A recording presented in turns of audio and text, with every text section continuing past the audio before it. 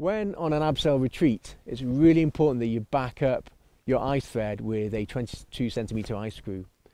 This is extended on a four foot sling, which has then got a screamer attached to it, which is clipped into your abseil rope. Always send the largest person off first. Once they've gone, uh, once the, the, the team has got down, the last person will take out the 22 centimetre ice screw, which is backing up the ice thread, and they will abseil off that.